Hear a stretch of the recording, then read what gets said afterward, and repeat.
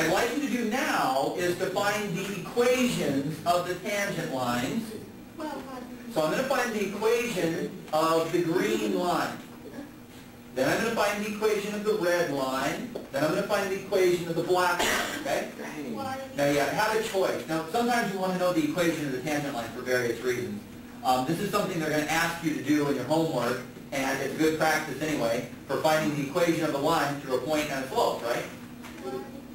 Now you have two choices. You can use y equals mx plus b, or you can use the point slope form. I'm going to do it both ways and show you how to do both. I have a point and a slope. 1, 1 with a slope of 2. We can use y equals mx plus b, and we can substitute and solve for b. That's all we're missing. Because we have a slope, we have an x, we have a y. What do I put in for y? 1. For m. For x plus b. We subtract 2 from both sides, and we get b equals negative 1. So I have my equation, and I still need to write it. My green equation, I should have done all this in green. y equals 2x minus 1. minus 1. Is That. Is that better? All right. We're also going to find the equation that goes through 2, 4. But before we do that, let's use point slope form. And I'm going to show you how to do this because I think it's important. Um, besides which, uh, Mrs. Kelly, if you guys decide to take calculus next year, uh, the pace is about double what my pace goes, so it's a pretty tough course. But it'll get you prepared for calculus, and some of you need it, uh, depending on if you're going to go into a science ma major or not. If you're thinking at all of going into a science major, at least take calculus and, and then go take calculus at the college level. Because your first year calculus is a tough, tough course. All right. Let's use a point slope form. I have a point and a slope. Now, remember when we do transformations of graphs? Like when I transform parabolas or I transform ellipses, even better?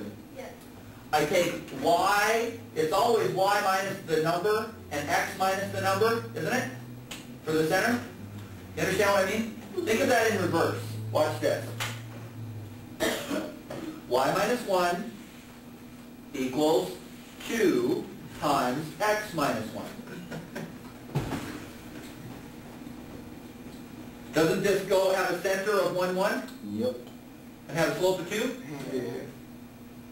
I guarantee that this is going, does everybody understand that this point, the kind of the center point, is 1, 1 for this, and that has a slope of 2? Now we just simplify it. This is y minus 1 equals 2x minus 2, and we have to add 1 to both sides? Yep. That's y equals 2x minus 1.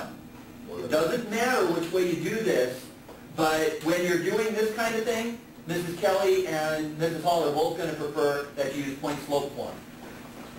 Okay? We'll try it with the red one. Instead of using y equals mx plus b, uh, we're going to use the point slope form, which is 2, 4, and m equals 4. Put it in the point slope form. Go ahead.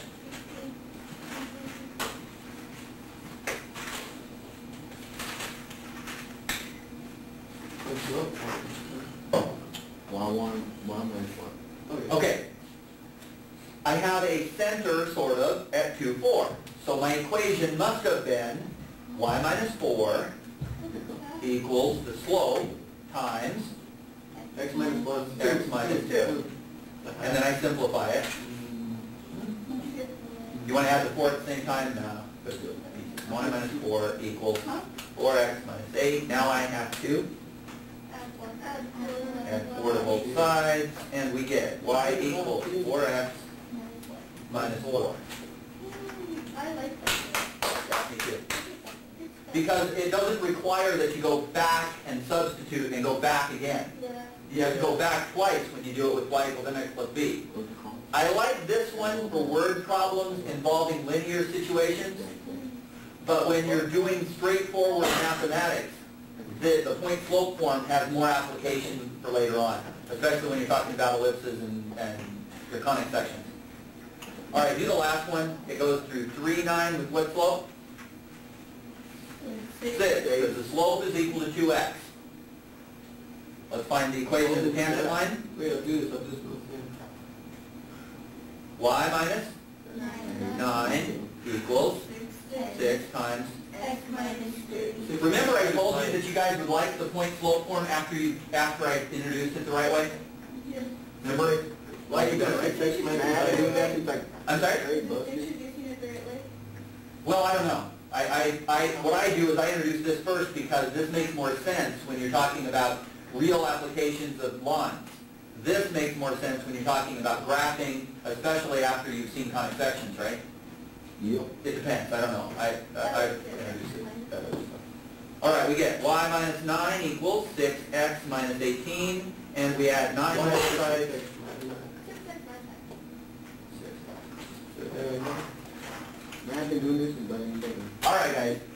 Show you one of the main applications to derivatives.